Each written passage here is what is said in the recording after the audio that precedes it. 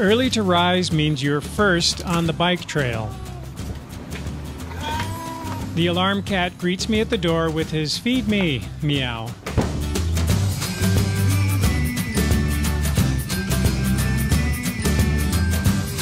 Happy kitty.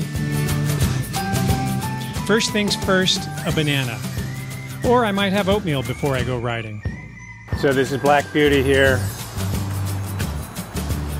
And we're gonna go attack the hills. Got to power up these hills. There's no button to make the incline go down. I usually have a Clif Bar somewhere on my ride.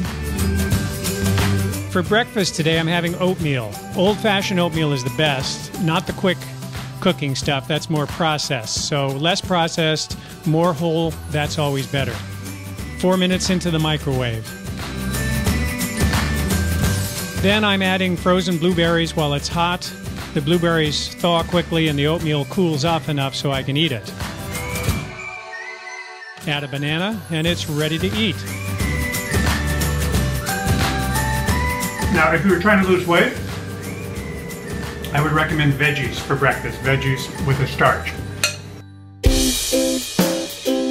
So lunch, we got a little veggie burger we're gonna grill here. This is pinto beans and lentils. The grill's a little crusty, but that's okay.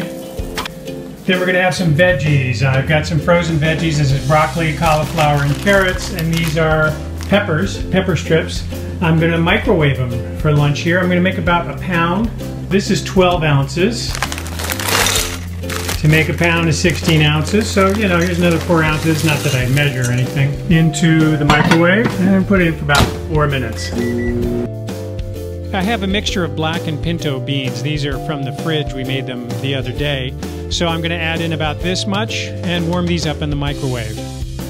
So now basically I'm going to assemble these ingredients here. I've got the pound of vegetables that are cooked now. I've got the black and brown beans that I warmed up. Here is the Instant Pot. I just made a little rice. We only have uh, white rice right now, so I've got a little rice. So I'm going to scoop some of this yummy rice into the veggies. I don't know, about that much, I guess. Got to get some starch. Now I'm going to scoop beans into the veggies. Put the whole thing. So I got beans and veggies and rice, okay? Now my burger. Here it is, my golden crispy veggie burger. Take it out, whoop, on the plate. Now I got a knife and I'm gonna cut this thing up a little bit.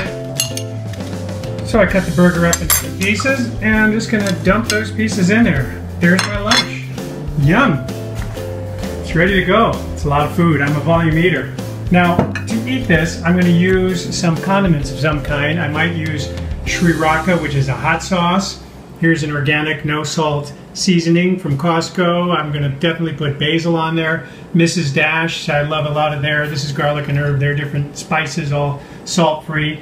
Might have some ketchup or some Bone Suckin' Sauce.